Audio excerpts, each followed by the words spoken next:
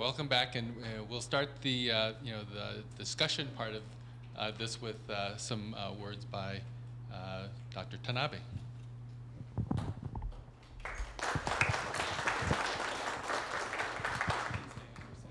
Okay.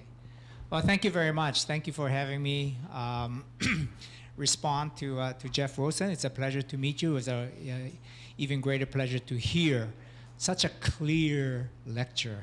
I mean, wasn't that a relief? You know, you always worry about university professors. You know, they're going on, you know, they go over like this, you know, and you kind of wonder uh, what what they're talking about. But Jeff was just so, so, uh, so clear, and uh, understandable, and and very insightful. Uh, his his analysis of the, the situation um, historically as well as in, in contemporary terms uh, I think is, is, is really uh, spot on. And I think that's one of the reasons why we found his uh, talk uh, so understandable because we could relate to it. Because, oh yeah, right, sure. You know, there's there, there are all of these, these situations that we, um, that we recognize and can uh, relate to. And so it was very easy to understand. So thank you for, for uh, showing that uh, academic eggheads can actually speak clearly. Uh, every now and then, yeah. Yeah. Uh, I used to tell my students there are no stupid questions, there are only stupid answers. Uh, and actually, like you, I, I, didn't really believe what I was saying. but I want to also make a comment about something that you said, and, and I don't know if this was inadvertent on your part, but um, you were kind of paraphrasing the. Um, that, that, that uh, wonderful saying that if uh, bad people can go to the Pure Land, uh, how much, uh, I mean, if, if good people can go to the Pure Land, how much more so bad people? And you said if Japanese Americans can go to the Pure Land, how much more so Haoles? I would reverse it. If Haoles can go to the Pure Land, then how much more so Japanese Americans? Turn that around. anyway, you treated uh, Jodo Shinshu in your analysis from, from two perspectives. One was the cultural institutional. That was the first half of your, uh, of, of, your talk.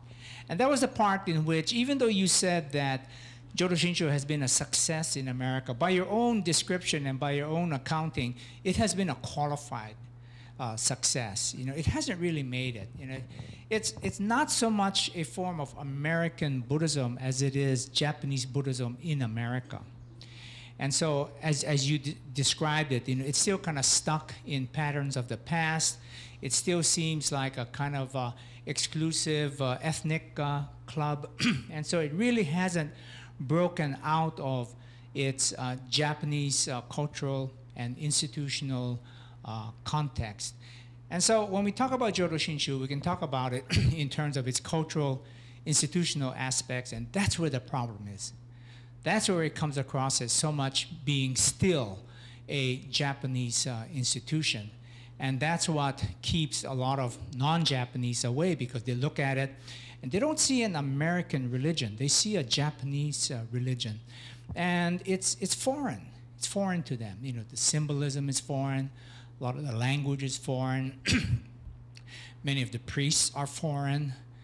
Uh, and the ties to, uh, to, to Japan are still very, very strong, as, as um, we've said many, many times over uh, here in Hawaii. We still don't have the kind of independence from the mother country that Japan has from China, that China has from India.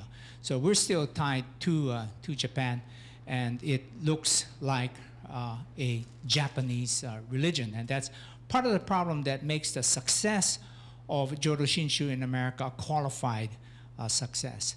And it was more successful if we judge success by numbers of members uh, in the past than it is in, a, in, the, in the present. And as you point out, you know, the numbers are going down demographically. it's, a, it's a pretty bleak uh, picture with fewer and fewer uh, younger people coming in, mostly older people who are remaining. And so uh, the, the success you describe is, is, is a qualified success. And the reason for that is because culturally and institutionally, Jodo Shinshu is still tied in with uh, Japan, not America, yet. Although there are, and, and you mentioned some of the ways in which uh, Jodo Shinshu in Hawaii and America is, is different from culturally and institutionally from Jodo Shinshu in, in Japan. So it's not exactly the same. And after uh, uh, what, about 100 years now, certainly we have made different kinds of accommodations and adaptations uh, to Hawaii so that we're, we're not a carbon copy, but still, you know, the, the ties are, are very strong. Okay, the second point you made, or in the second half of your talk, is about the universal side. So this is in contrast to the cultural institutional side, which is still kind of Japanese or maybe very Japanese. In terms of the teaching, it's universal. That's the part that can become American or Canadian or German or Italian, whatever. That's the part that is universal. And the teaching is universal. Um, you, you describe the Jodo Shinshu universalism, this inner relatedness, this sort of um, way in which uh, everything is seen as being tied in together. You know, even the devil, even Mara can can be uh, can be saved.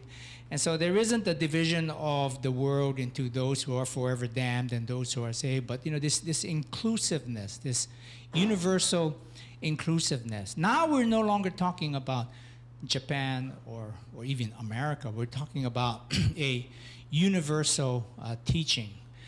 And so when we look at Jodo Shinshu, we see uh, the teaching, we see this universal side, and that's a side that's the kind of the hopeful side uh, as to how it is that we can break out of the Japanese mold.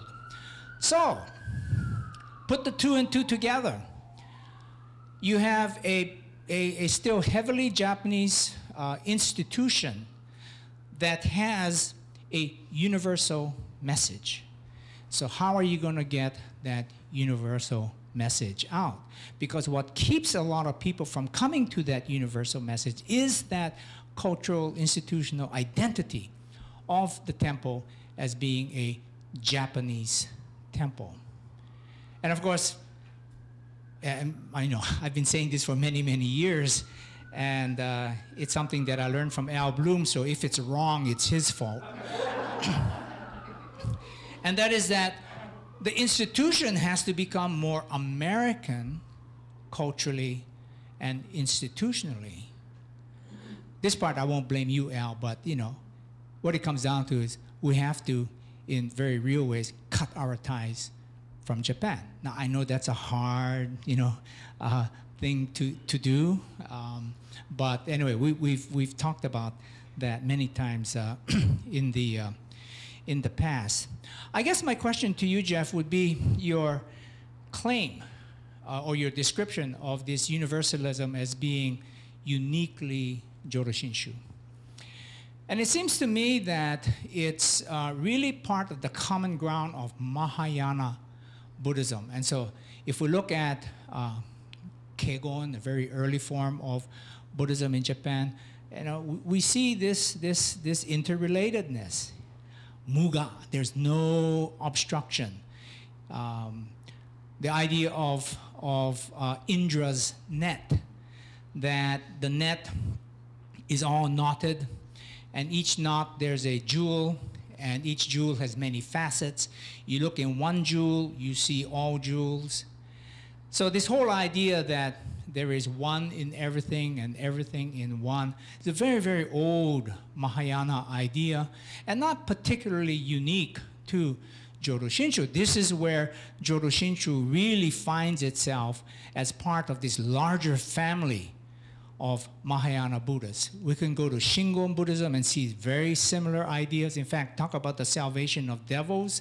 Shingon Buddhists love to say that in their mandalas, uh, the picture of the entire cosmos, where all the different Buddhas are listed there, if you look very carefully in the margins, you will see demons, that even the demons are part of the so-called sacred order. So, you know, this is this real inclusiveness and and interrelatedness is something that we see in Zen Buddhism uh, as well. Uh, so in all of the other sects of Buddhism, And maybe this is a good reason why we should study some of the other sects and denominations of Buddhism, because then we might find out not only that we have differences, but we also have common ground. And the strong point of Jodo Shinshu, as described by Jeff, and I would agree that that's the strong point, is also the strong point of Zen and Shingon and Tendai and Nichiren and all of those other Buddhisms that have in their teaching this idea that we're all related, we're all tied in one with another. There's no way in which we can separate ourselves out, so we better start working together and start um, thinking positively of the people we don't like. Great exercise. uh, yeah, my list was too long. I couldn't figure out on who to concentrate on. uh, so, you know, th- th- there's a way in which um, uh, th- there's, there's, there are differences, of course, and, and there are similarities uh, between the denominations, just as there is a difference between Japanese Buddhism and American religion, or even American Buddhism and the, the, on the one hand, and yet the common ground on the other hand of this kind of universal interrelatedness. So um, I, I thought it was a really clear analysis in terms of what the problem is in terms of the cultural institutional identity of the institution and what the promise is in terms of this uh, universal teaching. So how to get the teaching out, and of course, it's going to be through, uh, through outreach. Um, but here's the part, and I've, I've argued and I've, I've sort of taken a little bit of a different angle from uh, Jeff in terms of looking at this universalism as being common to other forms of Buddhism. That is to say, it is not unique to Jodo Shinshu. What I think is unique to Jodo Shinshu is one of its great challenges. And you mentioned going to the bookstore and finding a lot of books on Tibetan Buddhism and Zen Buddhism, but very few on, on uh, and, and Jodo Shinshu. And I think there's a reason for that. And the reason is Jodo Shinshu doesn't have, officially speaking, a practice. A lot of people love Buddhism for its practice Tibetan ritual, Zen meditation.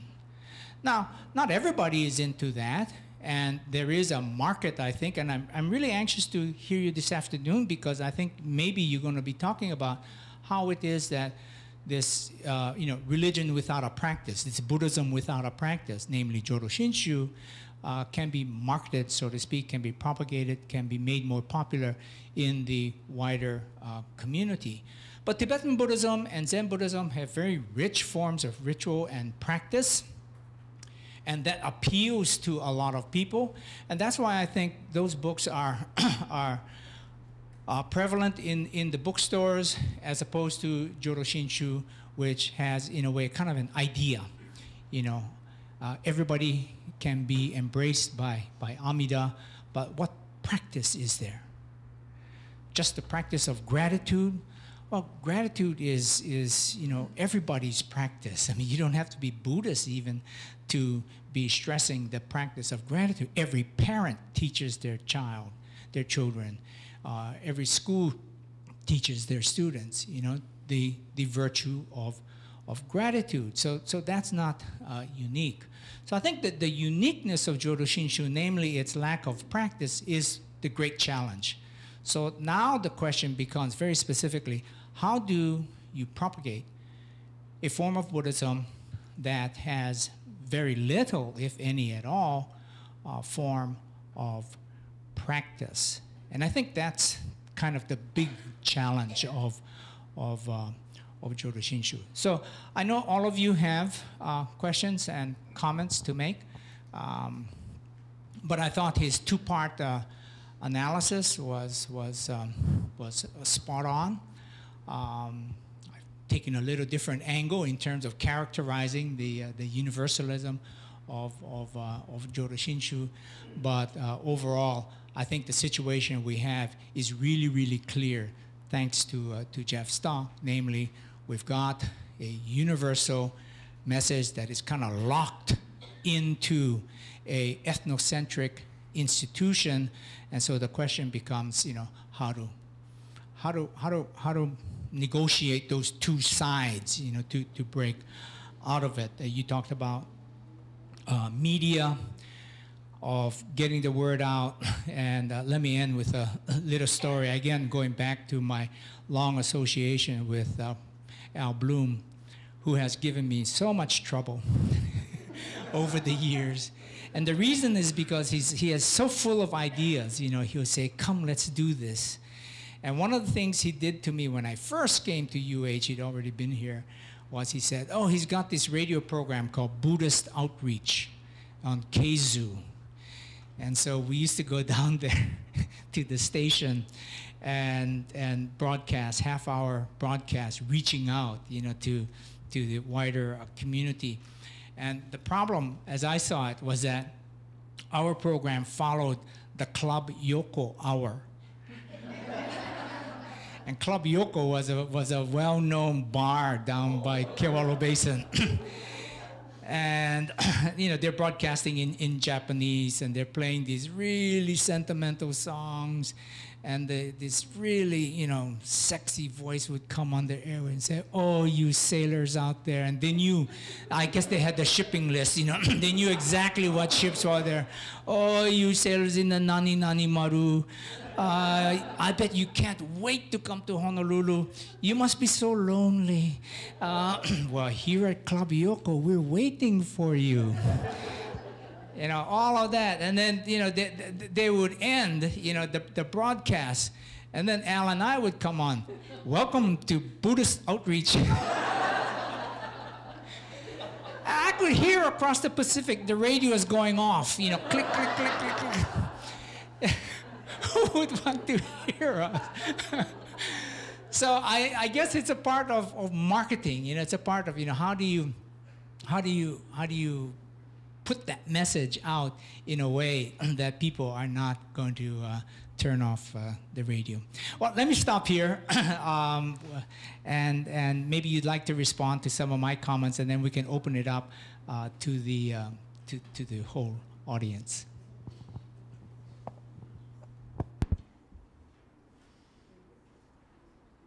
All right, great.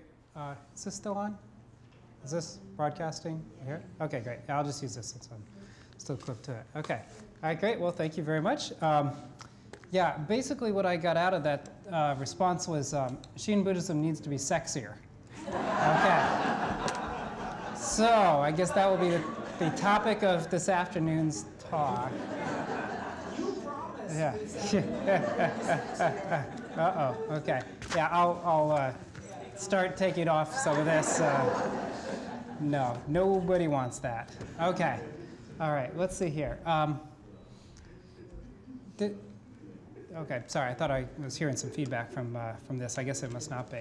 All right, um, so uh, here we'll, we'll, do the little academic thing we do at conferences where somebody says something and then somebody raises their qualifications and then you respond to them and that sort of thing. I, I can't help doing this. This is part of our academic culture. But um, um, I'd also like, though, to have a chance to hear back from everybody else as well. So uh, a couple of, a couple of the comments there. Um, uh, yeah, thank you for that response. That was helpful. Also, that was good because I, I, I, learned what I talked about. So uh, uh, it's, it's good to have a refresher then to uh, figure out what I was trying to say. Um, uh, one thing on this idea of uh, Jodo Shinshu as being unique in this sort of universalism, I think I should probably try to zero in on what it is I'm trying to say and what I'm not trying to say then so that I don't sort of mislead on this. Um, uh, Dr. Tanabe is um, absolutely correct that the idea of uh, sort of, how would we say it, like the liberation of all beings or an inclusiveness of all beings in, in a sort of vision is fundamental to Mahayana Buddhism across the board. So these things like Kegon he talked about, or Zen, or uh, uh, Shingon, all of these are Mahayana forms or come, come out or further elaborations from the Mahayana tradition originally. So yeah, this is, a, this is a type of Buddhism, and this is the larger form of Buddhism, Mahayana, um, very diverse form. But it certainly is sort of universalistic in some way um, pervasively, absolutely. Um, and and that's, a, that's an important thing to recognize, and that's also a, a wonderful thing. It means that there are universalistic resources that could be brought forward in all these traditions. Um, I think what I'm trying to um, uh, stress here then is not that it's uniquely universalistic, but that it's um, unique in the, in the way in which that universalism um, uh, is, is really core and plays, uh, plays a strong role in the sort of raison d'etre of the creation of the Shin movement in the first place. Like when I think of these other forms of Buddhism, and um, I study them uh, both historically and you know I've been to their temples and explored them uh, for myself uh, in the contemporary world as well, all, all, of the ones that were brought up. And um, I, I, really appreciate them. I really love the richness of Buddhism. Um, but at the same time, in general, these other forms of Mahayana Buddhism um, don't, don't nearly as much um, provide um, uh, how would I quite put this? Um, they're not they're not as focused on that sort of universalism in a way. So like uh, Kegon Buddhism is a um, is a very abstract, very philosophical type of Buddhism. Um, with a, very lovely sort of visionary quality to it, but also inherently a Buddhism basically of the elite. The Kegon never developed itself into a Buddhism of the masses. So it, it has a wonderful vision for the extremely small number of people who are able to plow their way through the Kegon Sutra and, and to really work on this sort of thing, right? This is a, a very elite sort of Buddhism. Um, and it's that sort of, the way in which these Buddhisms, they will, they will gesture towards universalism, but then they don't have kind of a program to enable to put that vision into action. That is where I think there, there's a kind of a division there. So for example, um, uh, Shingon, uh, this is a tantric Japanese Buddhism, or Zen, two forms that came up as well. Um, these are really really incredible, um, very fascinating forms of Buddhism, but they're also, at least in what they understand to be their important practices, they are also limited very much to an elite, right? Now, there are lay practitioners of Shingon and lay practitioners of Zen, particularly Soto, very much so. But at the same time, the rhetoric within those sects is that the important practices, the higher level practices, um, you basically require uh, monastic training and this sort of thing, something that is cannot be delivered to the average member, and indeed there's no attempt to deliver it to the average member. The average member of these groups is um, uh, doing mantras and um, you know um, uh, uh, involved in charitable acts or some ritual, this sort of stuff, but not not high, not in the not in the core liberating um, what practices of the sects themselves. Um, and for those few people who are able to do it, there's a real differentiation, right? When, it, when in Shingon, if you're really doing those practices, you're, you're, you're qualified as a, a, a tantric master, right? So you're something, you're, you're a, you know, you're, you're a daishi, you're, you're someone of a higher rank than other people. And in Zen, of course, we've all heard this term Zen master, right? So you're, you're, you're the rare, unique person who has uh, broken through, achieved satori, you know, or kensho, and has had some vision of this universality. So that a Zen master um, it isn't just abstract. Like, hopefully, at least if they have an authentic awakening, they even operate out of this sort of vision. In, experiential, they, they, they realize this interconnectedness of all things. But by definition, by the fact that we call them masters, it means that the number of people who really have this is shrinkingly small, you know, in their own forms of Buddhism. So those are Buddhisms that are, um, they do have that kernel of universalism in them, but they're not designed, and they're, they're explicit about this, they're not designed to deliver that universalism actually on a universal level to all people. On the other hand, the thing, as I understand it, that Shinran was doing was specifically going to the Nembutsu, not because he thought Nembutsu was awesome in the abstract, but because he recognized that Nembutsu was something that could be accessed by everybody, including even one such as himself, since he saw himself as being you know, not at all a perfect sort of person. So if Nembutsu could save even someone like him, then it could also liberate uh, peasants and women and the masses and all the people on the outside of Buddhism in his own day, right? So he was, to me, really almost uniquely um, um, fulfilling that universal vision that is common across Mahayana. Now, uh, you know, we, we can try to look at the details. I, I, you know, of course, it's always messier than that. But that's what I'm trying to say. It's not that it's, it's um, um, rare in its universal vision. It's, it's rare in the degree in which it can consistently tried to, to apply it to such a wide field. And actually, that's again the reason why today, when our vision seems to have shrunk so much, where, where now it's just kind of like another type of Japanese Buddhism, um, uh, uh, that's to me uh, not consistent with the spirit of the founder himself, who, like I said, he, you know, Shinran didn't intend to just save the Japanese in this sort of way. He was in Japan, that's why he saved the Japanese. It wasn't, there's nothing ever in his writings that say Amida embraces the Japanese, you know? That's never what he says. He doesn't even, he doesn't say Amida embraces the Japanese or Amida ja embraces the Chinese or even Amida embraces Asians or anything like this. He doesn't even say Amida embraces humans. I mean, he talks about all beings all the time. If you were someone like uh, uh, Dr. Bloom, who actually goes through these writings and you know pulls out all the sections where he says something on a theme, like I have to say, you know, the number of times he says Amida's light shines on all beings or Amida embraces everyone, that'd be like Essential Shinran Volume 2. It'd be like just its own book just on that one theme, I think. So that's what I'm trying to get out there. But it is actually quite an important corrective, I think, that Dr. Tanabe brings up here, that um, this is nonetheless common to Mahayana Buddhism. And so therefore, um, you know, if we set ourselves up on a kind of a high horse, like, ooh, we're the universal Buddhists, and they're the, they're the partial Buddhists, that sort of stuff, and that's like defeating the whole purpose right there, too. So I, I hope, please, that not at all this will be taken as uh, trying to denigrate other types of Buddhism. They also have that vision, and if sometimes we feel like they haven't fulfilled it, well, number one, we haven't fulfilled it either. And number two, the fact that they have it means that we can encourage them to increasingly emphasize that if it's something that we value. Um, one other little thing I just wanted to mention uh, on here, I have actually a, a, slightly different analysis on why there aren't Shin books on, um, on the bookshelves. I definitely think the practice thing is one part of it, but here the historian of American Buddhism just can't, can't help but um, talk about having kind of looked at, at the uh, tradition, and uh, here's what I think is also going on with that. This is just kind of FYI. I could probably tell you this at lunch, but too late, I already started. Okay, all right. I think that a main reason why we have almost no books on Jodo Shinshu on the shelves, but we do have books on Zen and Tibetan Buddhism in particular. I think that this may seem a little counterintuitive at the beginning, but I think this is right. There were lots and lots of Shin Buddhists in America, and that's why there are no books for them. Okay, now what do I mean by this? There's lots of Shin books in English, we've all been writing them and publishing them with our own presses and consuming them at our own temples in our own communities. We've never tried to put them on the bookshelves. Why? Shin Buddhism has historically never had a need to be a missionary faith in North America because it came built in with a large constituency already. It came with a large immigrant population originally, and therefore it focused its energies on retaining its market share of that um, immigrant population and their descendants, basically.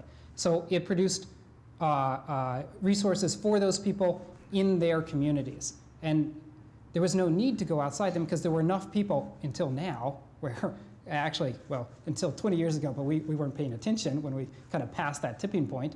Um, um, now, now there is a need to go to them, and we're having to struggle to throw off 100 years of like willfully not even trying really realistically as, a, as an entire movement. I'm not saying there haven't been individuals, but as a movement to try to incorporate other people. Why then do we have the Zen and the Tibetan things? Because there's nobody here who does Zen or Tibetan. By that I mean, how many Tibetans are there in America? I've seen the immigration figures. Um, Tibetans started coming here, this is 2010, so um, they've been coming here for about 60 years, and there's only a few thousand of them out of the 312 million um, Americans. This, there's something like uh, five to 7,000 Tibetans.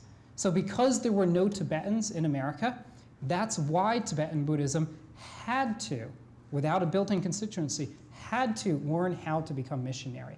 So that, that, that meant that they started talking in English earlier and started looking for ways to get non-Tibetans into their uh, centers earlier, you know.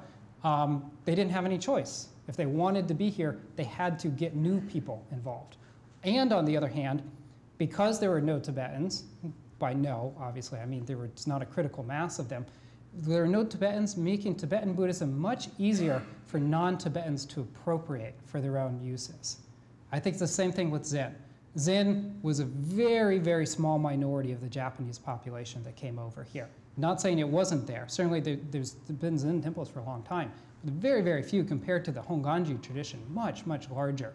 And so, this very small number of Zen temples didn't need to you know, didn't even really have any ability to reach out uh, further than where they were. So it was when Zen people came over and went out into wider America without a constituency, they had to learn how to put Zen into English and they had to learn how to market Zen to others. So what did they market? They didn't market the same sort of ancestor worship and um, omamoris and all the kind of stuff that's actually all the stuff you find at Zen temples in, in Japan.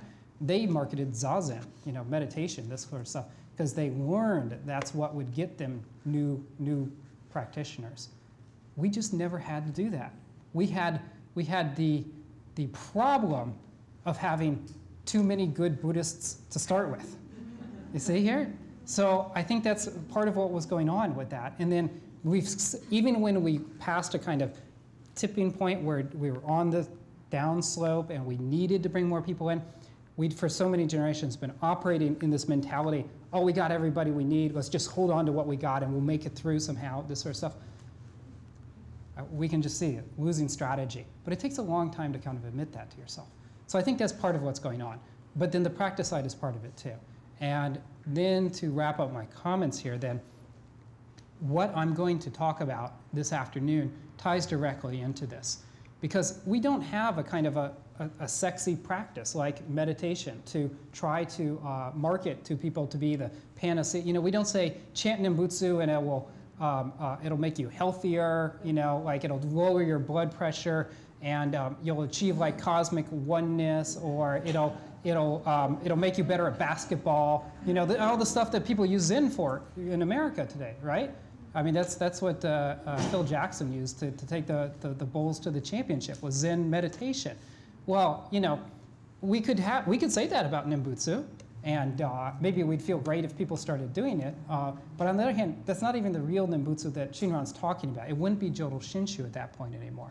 So what I'm going to talk about then is how we might be able to bring Shin values and attitudes rather than Shin doctrine or Japanese terminology to, to non-Buddhists. If we don't have a practice per se to market, then it really Jodo Shinshu comes down to those um, those attitudes, those values, those uh, emotional orientations, those those kind of heart things that I'm trying to gesture towards, and that's what we then need to learn to convey to others, rather than um, Namu Amida Butsu specifically. Okay, so uh, that's a little teaser for what I'll talk about this afternoon. Um, even just hearing Dr. Tanabe's um, comments helps me to figure out what I ought to try to be speaking towards also this afternoon. So thank you very much. Okay, all right.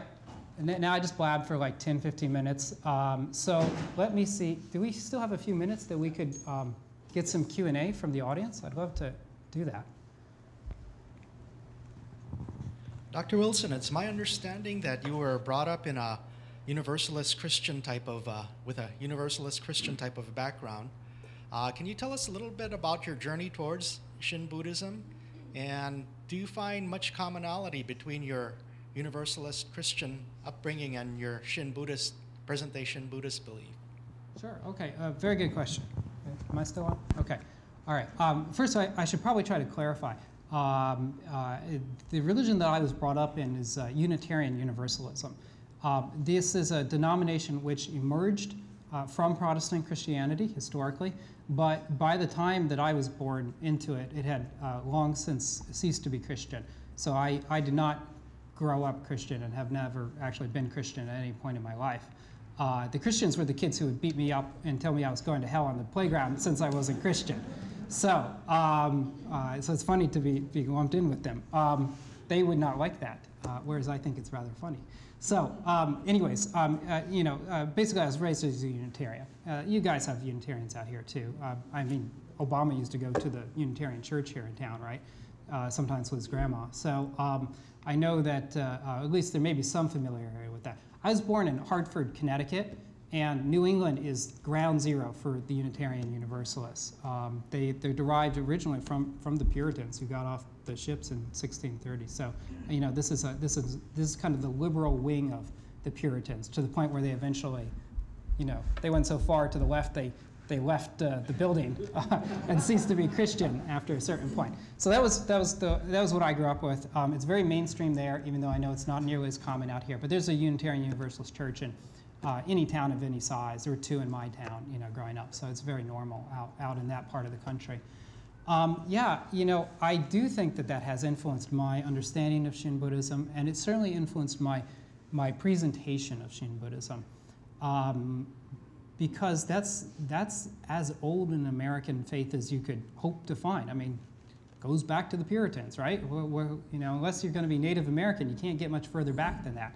So um, uh, it's, it's, it's very Americanized. It's a very liberal form of religion, so it is very flexible, meaning that it looks, uh, it adapts to the times uh, fairly easily.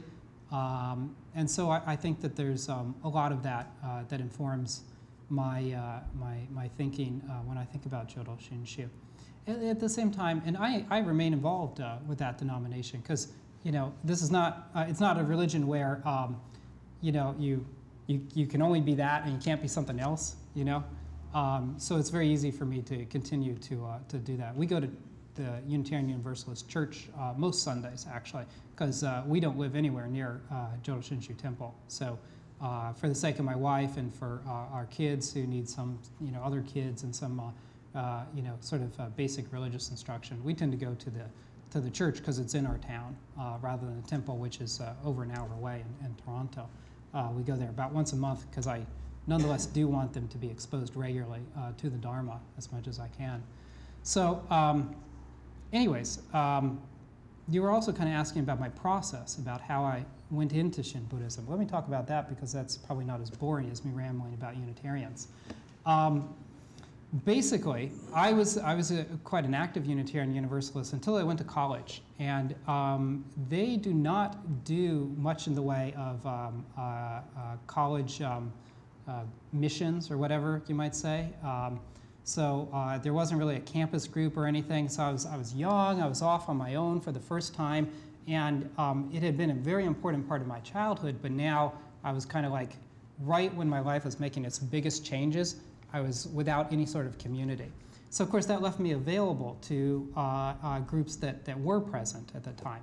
Uh, didn't go into Christianity. They had their campus groups, but I was not interested in that. I was still remembering the bruises from the uh, schoolyard. So um, actually, I did join the Jewish group. Um, I'm not Jewish, but they had catered events. So I went with I went to the, all their events. Um, that, you know, it was good uh, kosher food. It was uh, high quality, and I um, actually would bring my backpack with an empty Tupperware in it. And um, you know, what can I say? You know, when you're 18, 19, you, you don't have a lot of money to spend on food. So uh, I would, uh, you know, uh, socialize, and then when you know uh, it was kind of winding down, just start shoveling that into the backpack, and you know, then I had food for the next day too. So. Uh, but that, I didn't stick with them. Uh, I wasn't interested uh, religiously, really, in that group. I'm sort of embarrassed to tell that story, I realize now, but I already did too late. Um, I got in, interested in, in Buddhism um, and the academic level originally while I was in college. And I did uh, Buddhist studies while I was in college. Um, and it so happened that there was a, a, a basically a Zen type of um, Buddhist meditation group at my, at my college. And that was the only Buddhist opportunity there, and um, the Unitarians weren't doing anything in the area. So I started going to that meditation group also. Um, and, uh, uh, you know, I, I, became interested in, in kind of Zen Buddhism through that. And I was involved in Zen Buddhism uh, for a number of years. Um, and that was my original Buddhist um, sort of location. Uh, was Zen. I, I, found it very interesting. Um, it's a very beautiful tradition, um, uh, amazing sort of history, very interesting texts, um, very interesting practices, and um, um, I did that for a number of years. Uh, I graduated from college, moved to New York City, and uh, attended some of the zendos there in, uh, in, in, the city. Um, but what I found over time was um, uh, Zen Buddhism, which is a, a self power sort of practice. In fact, maybe it's the self power practice par excellence. You know, you sit down, you know, and, and you, you meditate without moving, no matter what happens. You know, if someone yells at you, if the house catches on fire, if they're smacking you with a stick, whatever, you meditate. You meditate like a mountain, Im, immobile, um, unmovable, um, and uh, you try to break through um, your mental delusions and achieve for yourself this sort of um, uh, amazing sort of uh, uh, Buddhist awakening. Um, it's a very attractive sort of path in that way because especially as a, as a young man in New York City, I felt like, you know, hey, I can conquer the world and I'm gonna, I'm gonna do this thing, I'll become a Zen master and then I'll be better than everybody else, you know, and uh, I'll be able to handle New York, which is kind of a crazy place. And uh, so I tried very hard uh, to do that sort of thing. Um, but I found that um, the better I got at Zen, the more my ego increased. So as I got to the point where I could meditate for long periods of time without moving, then my brain would say to me, you know, um, oh, you're getting so good at meditation. That guy over there, look at him, he's moving. He's thinking about something. He's not meditating. He's obviously thinking about something. Look at him, he's asleep. That guy is busy watching the bug crawling up the wall and everything. So, you know, I started to get very uh, highfalutin about all this sort of thing, right? And I would read these uh, Zen texts, which are very difficult to understand. Um, but I would read them, and over time I began to really understand them. And I could also kind of talk the talk, you know, because I'd read so much of this stuff. So I could go around and, you know, someone asked me about Zen, I would say, what is the sound of, one hand clapping? And then I would like give some sort of plausible answer, say it's, you know, it's all bull, but, uh, you know, nobody, nobody else knew either. So, you know, I kind of got, got away with it. So the better I got at that kind of you know, at least appearing like I was Zen, I would say to myself, oh, look at how good I am at Zen. All these these morons don't get it, but Jeff, he's got it. Okay, you know. And so, so my ego kept getting bigger and bigger the better I got. And um, you know, people started asking me to talk about Zen, and I started writing and this sort of stuff. Um, but on a certain level, it's all very false because the problem in Buddhism is yourself, especially your self-attachment. It is that egoism. That's what causes suffering in the first place. Um, I was also very strict about the precepts at the time, stricter than, than most Zen Buddhists are, as a matter of fact. Um, I was a vegan, was a, a vegetarian um, uh, with an attitude, basically. And um, uh, I didn't drink, uh, which was extremely unusual for people from my hometown. And, and just in general, I was, I was a total teetotaler and, and um, uh, a, a, real uh, wet blanket at parties, what can I say? So, um, in all of that, I thought I was, you know, really great and I, I could follow the precepts and everything. So eventually I reached a point where I realized, no, this is, this is, this is totally wrong. You know, the, the more Zen I do, the, the worse of a human being I become. You know, this is terrible. And it's not necessarily something that's wrong with Zen, okay? Maybe this is me, who is a very egoistic sort of person, um, uh, uh, you know, taking the worst aspects of Zen and using them to, to reinforce my ego in that sort of way. But at the same time, I have to say, I was a young person, I was looking around at other Zen practitioners who'd been doing this Zen meditation, and meditation is what's supposed to, at the end of the day, free you, right? And I was seeing people who were, uh, so I'm in my early 20s, and there were people in their 50s or so. So they've been doing it maybe 20, 30 years, that sort of stuff. And I could see a lot of them had the same sort of, were displaying the same things I was too. So I th thought to myself, wait a minute, I'm getting worse and worse. This is, this is really bad. And these people have been doing it for 30 years, and they're still pretty bad too you know, and they're New Yorkers. Like, if a New, if a New Yorker is a jerk, you know it because he's just he's in your face about it, right? So um, at least there's there's that I can say that's probably good about them. So I thought to myself, you know, I might put in 30 years and I might come out the other end of this in practice worse than I am right now. You know, that's this is this is not going to work basically. So um, I was actually sort of very I was very uh, disappointed, very crestfallen by this. Um, I felt uh, bereft, basically. It was like a, like a loss or something because I realized that I'd been putting in effort for a number of years, and uh, a number of years is not super long, but I had really hardcore been working on this. And um, I realized, you know, my relationships with my family, with my friends, with other people were deteriorating because of this. You know, like I said, I'm turning into a total jerk in this scenario. So um, I put in all this effort, and it was maybe it was waste. You know, I felt very bad, and I also thought because I believed in Zen. I thought Zen could liberate you in this way. Um, what, what was I going to do then? You know, what was going to work? Um, so I, I kind of I remember wandering the streets of New York, very sort of upset about this. Um, and the funny thing is, though, that somewhere in the back of my mind, I had uh, read a book in my Buddhist studies classes called Shinran's Gospel of Pure Grace. I read that book, and it's my mind remembered. Okay, there's two ways. There's self power and there's other power. I have exhausted other power. I mean, excuse me, I've exhausted self power. I've exhausted it. I've done it, and I've discovered for myself experientially, for me at least, this is a dead end. This is the, I'm going, I'm, I'm running in the, in the opposite direction from enlightenment with this practice as I'm doing it now. So I felt that I didn't really have any choice except to just kind of give up, basically. I mean, it sounds kind of stark, but just, just give it up. Like, just stop. Just turn towards other power instead. And even though I wasn't sure I could trust that, I knew that I could not trust myself. I knew that I couldn't trust myself. And I also knew that I couldn't trust, actually, this is going to sound harsh, but I don't mean it that way. I couldn't trust the Zen masters either because I could see that some of them could do this practice their whole lives and some of them could still be uh, kind of very egoistic too. So I knew that if I couldn't trust myself and I couldn't trust other people, I was going to have to trust something even more. I was going to have to put my trust in the power of the Buddha beyond all of these things. So I ended up going to the Jodo Shinshu temple uh, in New York, the, the New York Buddhist Church, and uh, even though I looked at it, I was like, what is going on? They're chanting in Japanese. I don't know Japanese. Uh, it's not even Japanese. I find out later. It's Sino Japanese, all this sort of stuff. But I didn't know what the heck was going on. It looked very Christian to me.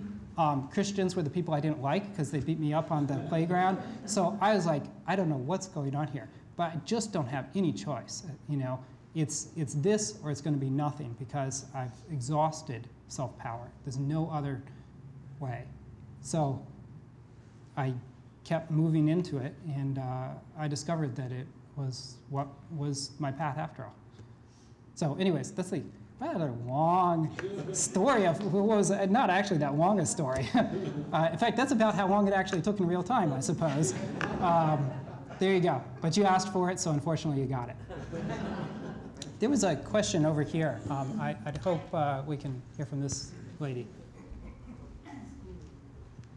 Jeff. Thank you, Jeff. My name is Donna, and um, I would like you to comment on the name. Um, well, you know, 120 years ago, the um, the first missionary um, Buddhist priest came to Hawaii, and probably pretty soon the Honganji was formed. But I don't know when the name the Honpa Honganji Mission of Hawaii was instituted. So the word in English, Mission of Hawaii. Yeah. I've always wanted to drop the word mission, personally. This sure. is personally. I thought maybe we've arrived or something, you know. But then um, we move on to other. Um, the Honpa Honganji Mission of Hawaii is in Hawaii the mainland USA is called the Buddhist Churches of America. And the Canada one was called Buddhist Churches of Canada, but I know they changed their name. Yes, it's now very, very long. It's the Jodo Shinshu Buddhist Temples of Canada. Okay. It's a the total mouthful. Jodo Shinshu Buddhist Temples, Temples of Canada. Of Canada. Yeah, That's yeah. right. And right up here for the Hawaii Betsuin, there's a, there was a small sign if you come in from the back back way. Uh, I think it said Hawaii Betsuin Buddhist Temple. And about five years ago, Moiliili, where I attend, we had to, um, not we had to, we were ready to put a sign. Uh, and what sign should we put on our uh, temple building? And we had some discussion, and at the end, it came out Moiliili Honganji Buddhist Temple. You know the word temple versus church? Um, I don't like necessarily temple. I don't think our temple looks like a temple. Our church looks like a temple, but could you just comment on the, the name, the names that we're using? Oh, this is a very good comment. So the, the official title is uh, Honpa Honganji Mission of Hawaii, isn't that right? Or is there, it's, it's not Buddhist mission, or it's, it's Honpa Honganji Mission of Hawaii. Okay, very good. All right, so Uh, I'll make a comment which will ensure I won't get invited back, and that is that uh, I would definitely recommend dropping from Hompa Honganji Mission of Hawaii. I'd recommend dropping the Hompa, the Honganji, the Mission, and probably the Hawaii too. So you will just have to call yourself of from now on. Of is, of is a word that people can understand, right? Okay. Because honestly, uh, now I don't know exactly when the name arises. I assume it may be 1889 when the uh, first uh, mission is established here, uh, but I'm not certain. It may be incorporated a little later under uh, Bishop Imamura or someone like that. Um, anyways, it goes back quite a long ways. So we have some problems here with this name. The name is actually a highly accurate descriptive name, but it doesn't communicate itself to anyone except the people who know what it means already, right? So, you know, uh, Hompa Honganji, like, I think even many people don't even know what the Hompa and, and Honganji means. Um, uh, Honganji, you know, is, is, doesn't communicate to anyone unless they already know what Honganji is. And that word mission implies that it is not of Hawaii. You know, the last two words of Hawaii and the word right before it, mission, these do not go together. Because missions, missions are to Hawaii, right? Basically. Uh, their missions are to something. So um, it's, it implies that Hawaii is a mission field from outside. Now, you could think of it differently that we are the mission uh, bringing things to Hawaii from a place in Hawaii. But usually that word mission isn't used for those kind of domestic, you know, outreach programs. So mission almost always means something from over here is going over there. So it sounds like it's coming from Japan to Hawaii always. It sounds like generations later, you know, uh, uh, it's still coming from Japan to Hawaii. So um, I, I, think that this name, in fact, is, is a barrier probably to others. Um, like I said, this won't get me invited back because I've now come from a different country and told you your, your name is no good and it's causing you problems. But I think it would be better off if, it, if there were a more inclusive name for the organization um, uh, that allowed people to, when they read it in the phone book or online or whatever, they wouldn't go, what, what, is, a, what is a hompa? Is that, is that a, what is, what is a honganji? Are, are hompas and honganjis, are, are, they, are, they, are they Buddhist? Are they Muslim? What, what are hompas and honganjis? You know, uh, it's a mission, you know, something that, that suggested that it was really from Hawaii uh, or from America, or it was just universal in some, some manner. Um, Buddhist Churches of America is different. It also has some serious problems. That name only goes back to the, uh, basically the, the war and post-war period. It was a kind of a survival strategy to look more American call yourself Buddhist Churches of America. That sounds a lot better than it was the. Uh oh, I'm supposed to know this, but off top of my head, I'm forgetting a little. I'll pretend it's jet lag. Yeah, that's what it was. Okay, so I knew it was mission. Okay, so it used to be the Buddhist mission of North America. Changing to the Buddhist Churches of America was a step in the right direction. It made it seem more American. But at this, now we've evolved further, and it still seems a little strange. Buddhist Churches of Canada, they decided that that didn't convey that it sounded too Christian or something, even though it's got Buddhist in the title. So then we became, just recently, in the last three years or so, the Jodo Shinshu Buddhist Temples of Canada, which is really long. And I still call it the BCC because I can say that quickly and move on, right? So um, we're still looking for basic English words to talk about who we are. Um, maybe we need to be something like um, uh, the Buddhist the Shin Buddhist, uh, I don't know, Shin Buddhists of Hawaii. How about that? That's really simple. I'm not saying it's the best possibility, but off the top of my head, it's something that suggests itself. Maybe if we were Shin Buddhists of Hawaii instead of Hompa Honganji uh, uh, Mission of Hawaii, maybe that would help people realize that we are of Hawaii and not, not to Hawaii, and that we are not a mission that's recent, that we are an organization that's been here well over a century, you know, and, and is, is very Hawaiian. So um, just something to think about. That's a great issue to raise, and, and I, can't, I can't end it here. Yeah? Uh, Dr. Tanabe mentioned that we should break all ties with uh, Japan. How practical or realistic or good is that? Okay, good. Uh, it's probably not very practical because there's still a lot of um, uh, this financial support and in particular this ministerial support which uh, we're not currently at a level where we're able to operate without that assistance.